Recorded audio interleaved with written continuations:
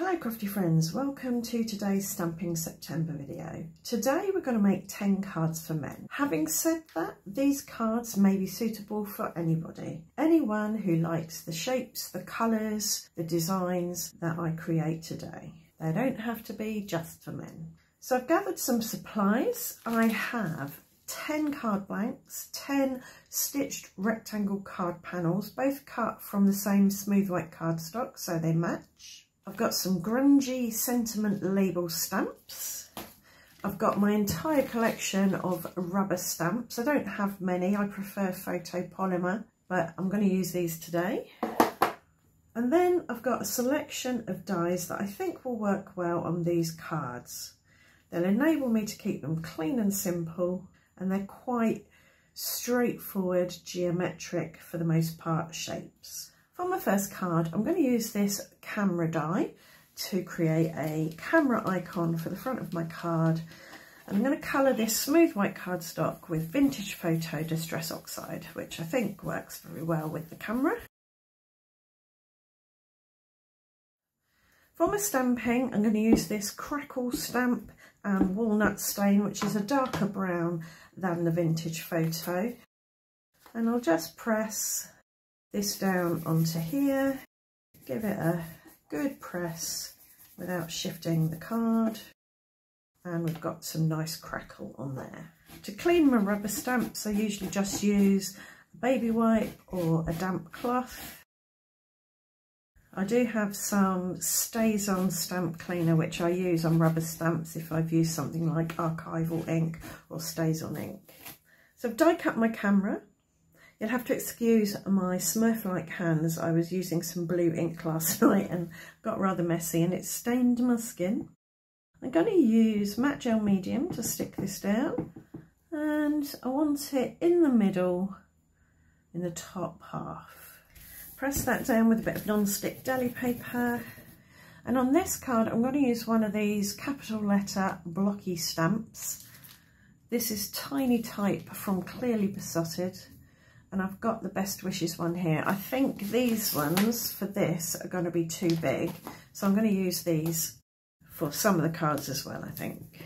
I'm going to stamp that in black, just for a little bit of difference. I could use the vintage photo or the walnut stain, but I think the black's going to stand out nicely. I'll put tape runner on the back of my card panel. I'm going to stick that on the card and trim the card down. And as a finishing touch on this card, I'm going to flad this area here, which is the flash of the camera, and this area here, which I guess is the viewfinder or something, yes, probably the viewfinder, and then this bit here, which is the lens, so the shiny glassy bits. I'm going to flood with crystal glaze. You could use glossy accents or some kind of Nuvo drop for this so that when they dry, they dry clear and shiny. And that's card number one done. For card number two, I'm going to use some alphabet dies to spell out the word dad. And I'm going to cut those from this bit. This is Broken China, which is a really lovely greeny blue. So now I've got this rubber stamp, it's got diagonal stripes on it, and I'm going to use Uncharted Mariner to ink that up. This is a darker greeny blue.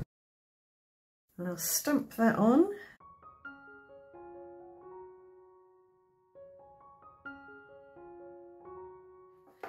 And now I'm going to use these dies to cut my letters. So I've got my letters all nicely die cut. I'm dusting them with talcum powder to remove any static moisture or grease. And now I'm going to stamp on them with embossing ink using this silicone splatter stamp.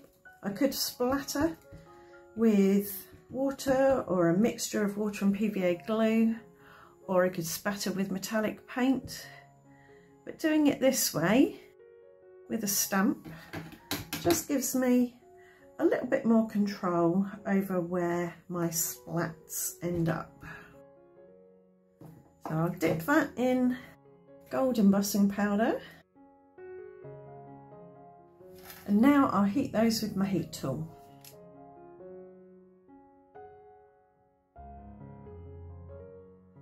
Before sticking these to my card panel, I'm going to stack them. So I've got two die cuts of each letter that I've stacked together, made from scrap pieces of paper, and I'll just glue these on top.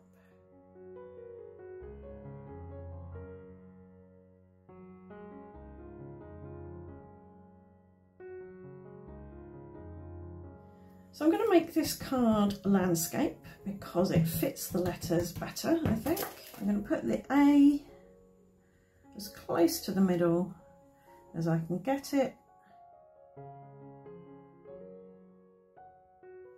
And I'm going to add a happy birthday again in that capital letter font, again in black to make it stand out from the rest of the card.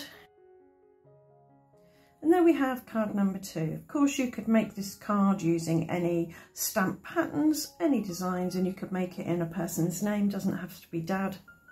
But that's that one. For card number three, I'm going to make an aperture in the front of my card panel using this star die. And now I'm going to cut these smaller stars out of the same white cardstock. Now I'm going to ink these up with Shaded Lilac, a Distress Oxide. Try and get a fairly even coverage. Now I'm going to add some visual texture using this rubber stamp. It's heart-shaped, but I'm just going to stamp on over the star so you'd never know what shape the original stamp was. And I'm going to take some faded jeans and go around the outside just to darken the edges slightly. I'll put some foam tape on the back of my panel with the aperture in it just to give it a little bit of lift.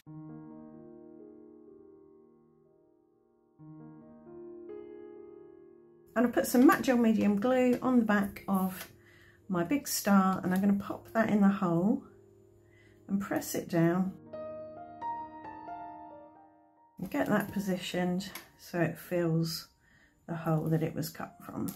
You could just colour and stamp on a square of card and stick it behind or even just do the card blank behind the aperture but this way I get the stitching detail that's on the star and the darkness around the edge. So my recess star will match the stars that are going to go on the top, something like that.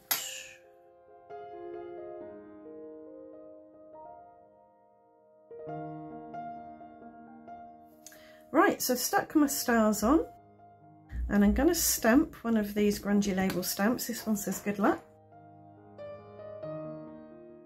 I've dusted this card with corn flour, no talcum powder, and I'm going to stick it in gold embossing powder.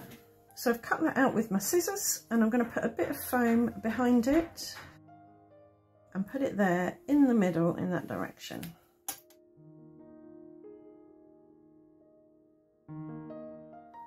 And to bring in a little bit of extra shine and gloss and dimension and bling, I'm going to add some gold Nuvo drops just around the stars.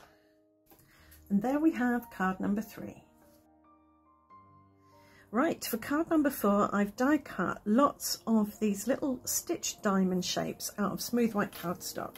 And I'm going to colour a load with salvage patina some with peacock feathers and some with speckled egg.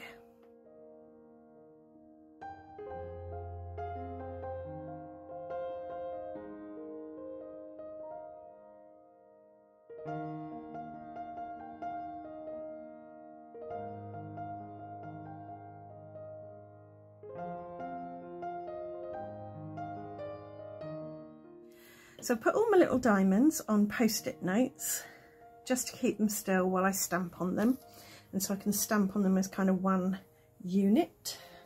I've got a rubber stamp here with polka dots on it and I'm going to pop some peacock feathers on and take the Salvage Patina diamonds and add the dots. So now my diamonds are dotty diamonds. And I've got this XOXO heart-shaped stamp here and I'm going to stamp that on with peacock feathers again onto the Salvage Patinas. And on the peacock feather ones, the darkest ones, I'm going to do some heat embossing. So I'll just dust that with talcum powder. I'm inking up this rubber flower stamp with embossing ink. And I'm going to stamp that so that each little diamond has some. And I'll dust that with some super fine silver. So I'm going to do a portrait card, but I put my panel on my matte landscape and I'm going to tape it down at this end to keep it still. When I want to run something vertically up and down a portrait card, quite often I find it easier to do it landscape because I can see whether something's straight or not. And this bit of washi here is going to hold everything still, but it's also going to give me a bit of a guideline to line things up against. So I've spread some PVA glue there, high-tack PVA, I've marked the halfway mark there just so I can get things lined up. And I've dipped my diamond into the glue and I'm going to pop it on the front there.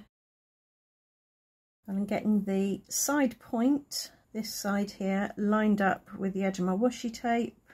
I'm using high-tack PVA for this because it kind of grabs the die cut onto the card and holds it there while it dries.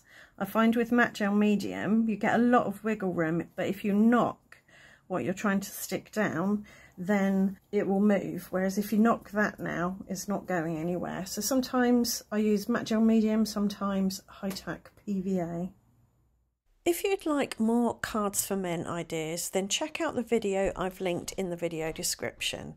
In it, I make three cards for three of the men in my life and share questions and prompts that will help you design cards for anyone you know, not just men. There's also a downloadable PDF of the questions and prompts in the description of that video, so do check that out.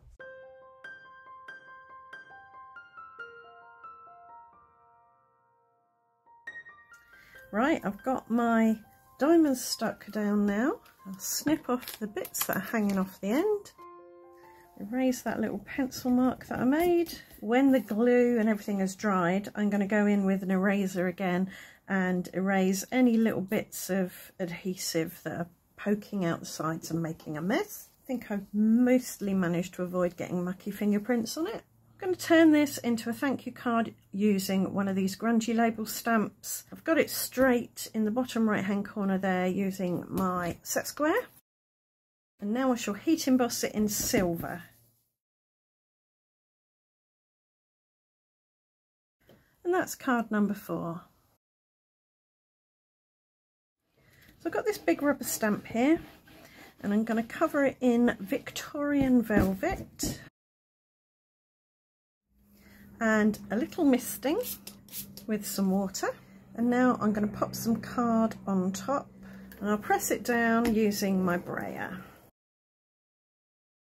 And now I've got a really lovely impression. Now I've got some vintage photo distress oxide that I've added some water to and I've got my smusher and I'm going to smush that on top.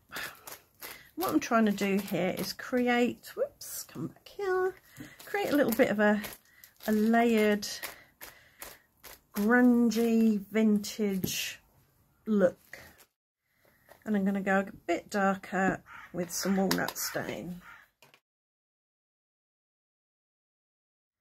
I'm going to use this crackle stamp with the walnut stain again like I did on the camera to add a bit of visual texture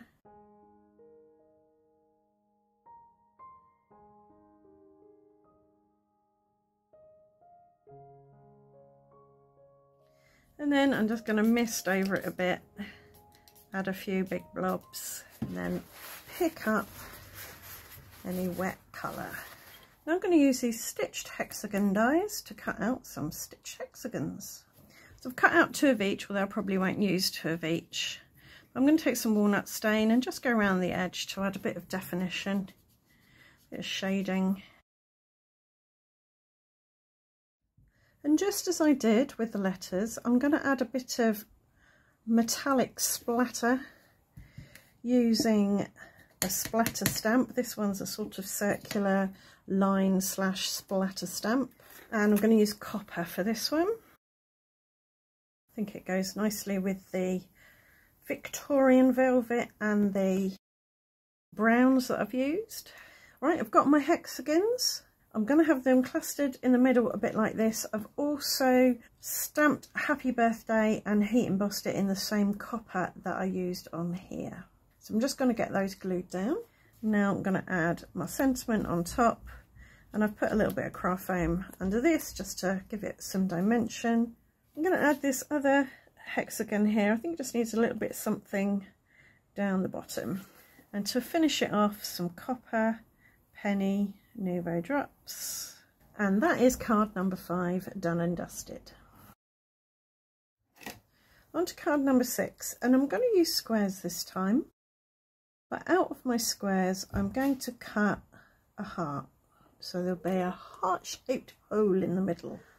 Now I've got four identical squares with heart-shaped holes in the middle. I'm going to colour them with greens this time. I'm doing two in iced spruce, two in bundled sage. So these are fairly muted greens, not too bright. I'm going to take the two iced spruce hearts and pop them on a post-it just to hold them still while I stamp on them. And I've got a sentiment stamp from this set. It says Sending Love. And I'm going to stamp it as visual texture over this. I'm going to do some multi-generational stamping. This is pine needles, distress oxide.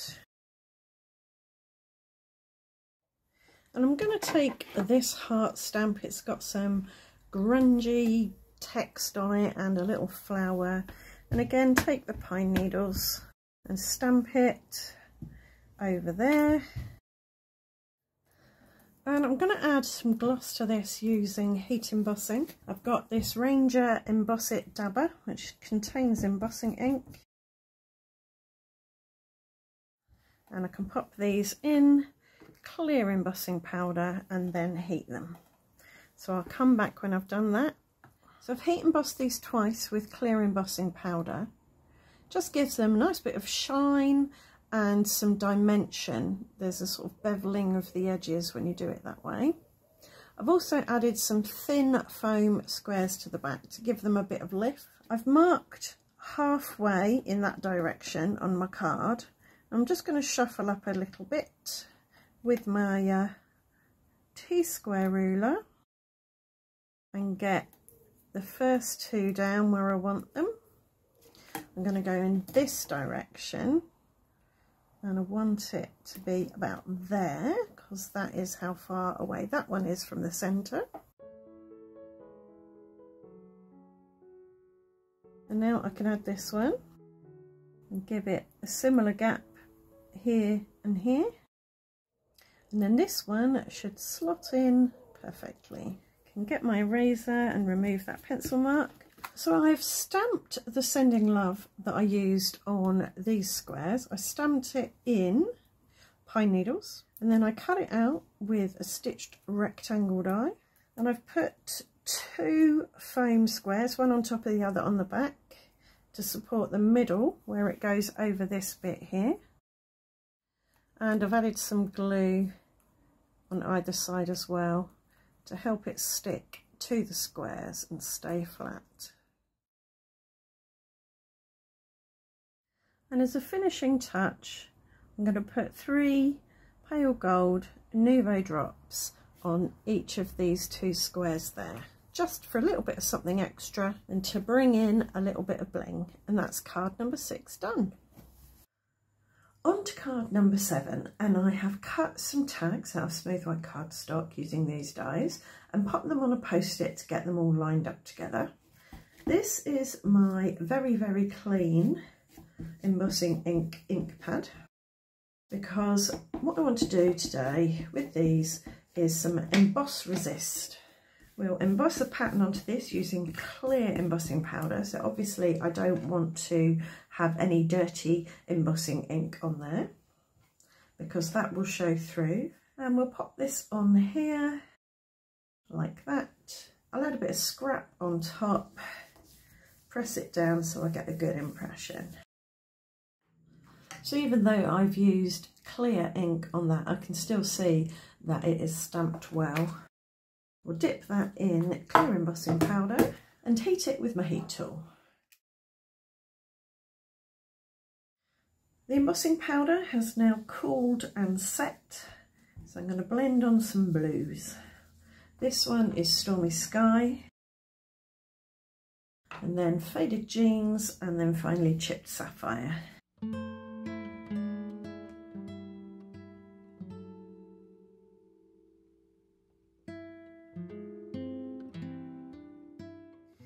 Right, so the ink's on. We'll wipe off excess ink using a microfiber cloth, so that should buff up the heat embossing nicely. So I'm thinking a diagonal design I like this. And I'll use tacky glue to glue down the tags because they're slightly warped due to the heat embossing and tacky glue will just keep them press down nicely while they adhere. Having said that, I'm going to pop this one up on foam tape just to give it a little bit of lift. So that can go there. So there's a nice little bit of dimension there. And that one can go up there flat again with glue. Before I stick anything else on, I put tape runner on the back of this and I'm going to stick it on my card blank and trim the card blank down. Now I've got this Hello Grungy label that I've heat embossed in gold. I put a little strip of foam at the bottom there, some glue there, and I'm going to put it here so it's overlapping both of these tags. And you know what's coming next? Some gold Nuvo drops to link it all together. To add that gloss, dimension, bling, sense of movement and flow to reinforce that diagonal design. And there's card number seven, very simple, very clean. For card number eight, I've got this wood stamp. It's like a tree trunk has been sliced and you're looking down at all the rings in the tree trunk. I'm not using it for a wood effect though. I'm going to use it just to add a kind of radial pattern on these cogs that I've cut out from smooth white cardstock. I haven't bothered treating these with talcum powder because I don't mind if stray embossing powder gets stuck, you're not going to notice it. The powder I'm using is a DIY embossing powder. I made it using teal luscious powder and clear embossing powder.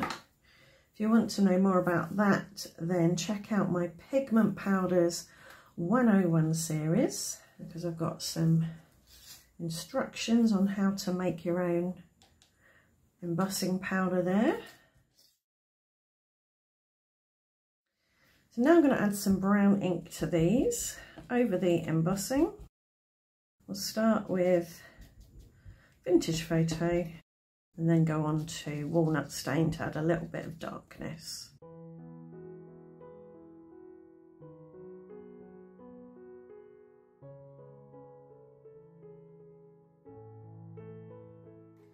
Now we'll just give them a little buff to lift some of the colour off of the embossing. So put some PVA on my glass mat here. The high-tack stuff so these stay in place as I stick them down. And I'm going to run a strip of cogs down this side of the card. We'll start with the big ones and have them in the background.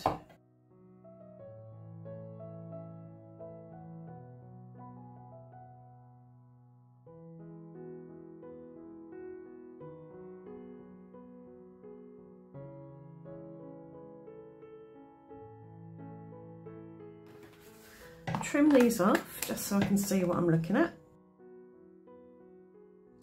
So I like that down that side. I think we'll have a little cluster here.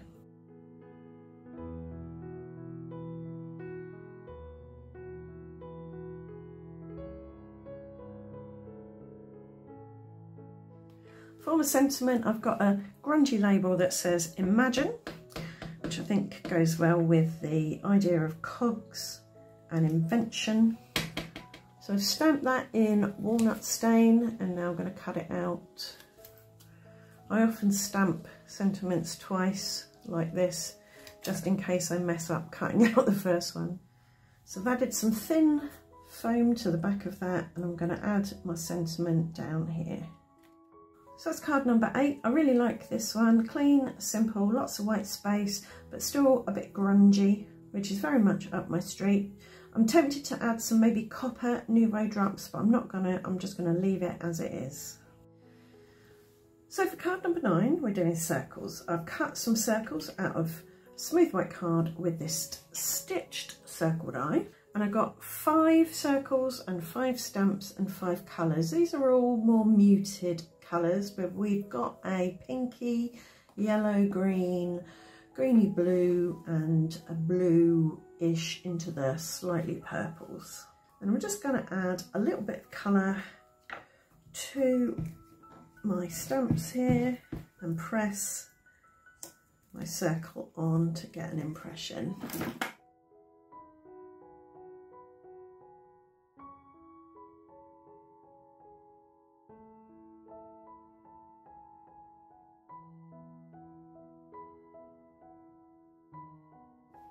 So I've got all my little circles there and I'm going to add them in a strip down the side of my card. I want to add a little bit of foam just under the top of each circle. So I'll start at the top and pop my first circle down there. And then we'll squirt a little bit of glue underneath that just to hold it down. I'm using matte gel medium for this. And then I'm going to layer the next one on top overlapping it slightly.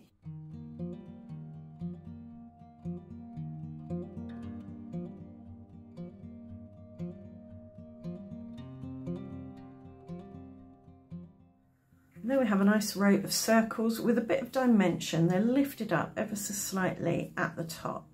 I've stamped just for you in black so that it stands out amongst the colour. Put some foam tape on the back and I'll add it down here Actually going to take the foam off the back of that circle because it doesn't need to be there with that sentiment stuck on top. I mounted this on a card blank and now it's time for some bling. You can leave the bling out, depends on what your recipient likes really I think. That's card number nine, just some simple stamped circles. For my last card, I've cut some fishtail banners out of smooth white card. And I've got a few more rubber stamps here that I'm going to ink up with embossing ink. And I'm going to heat emboss these in gold. This stamp isn't big enough to cover the whole of this, but I'm probably only going to use one end of it anyway. So we'll just press that down there like that. Same with this one. This one I've put on a block just so that I can stamp one end and then I can sort of see where to stamp the other without overlapping them.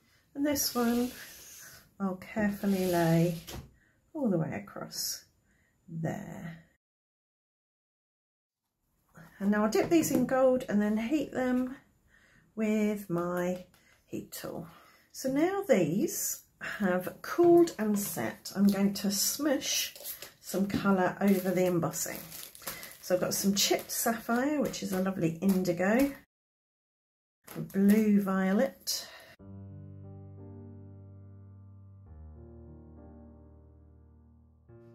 and now some seedless preserves, which is a, I guess, a red violet. Sometimes when I do this kind of thing, I like to smush and then do the heat embossing. And sometimes I do the heat embossing and then the smushing. And I think it can look a bit better when you do the heat embossing and then the smushing because the smushing pulls around the heat embossing and you get sort of areas of contained colour. The heat embossing and the smushing become integrated with each other, I think, rather than it looking like one thing stuck on top of the other. So I'm going to have another diagonal design. I'm going to start with my biggest banner in the corner there with a little strip, a little border around it. And then I think we'll take this next size banner down and that can go there with a little gap. And then I'll take the third size banner down and echo that pattern up here with the smaller banners. So I'll have the thick one at the edge with a little border and then the thin one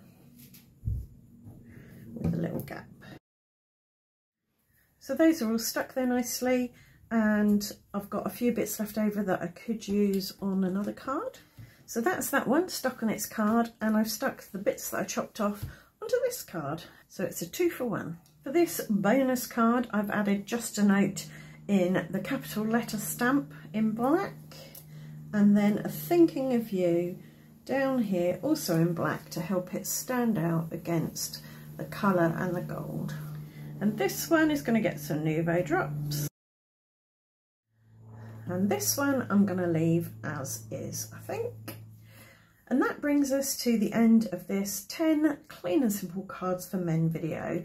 As I said at the beginning, these cards don't just have to be for men, they can be for anybody who enjoys the kind of style, designs, colours, compositions that I've shown here today. Don't forget to check out that other video that I mentioned earlier about making masculine cards, cards for men, because there's a handout of prompts and questions that you can download that you might find helpful.